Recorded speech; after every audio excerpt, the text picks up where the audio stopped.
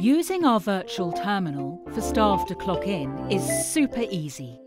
Just enter their PIN and their shift start or end time is logged.